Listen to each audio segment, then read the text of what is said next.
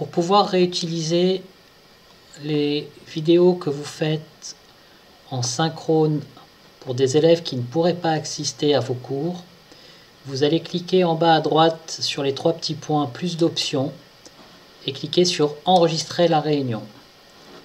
L'enregistrement doit se faire avec le consentement de tous les participants puisqu'ils apparaîtront dans des petites vignettes, les élèves apparaîtront dans des vignettes sur la droite.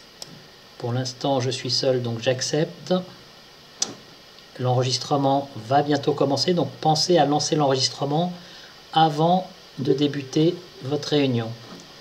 En haut à gauche, vous avez l'icône indiquant que votre euh, présentation, votre cours est enregistré.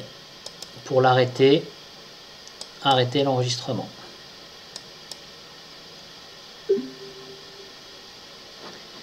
L'enregistrement est stocké dans Google Drive.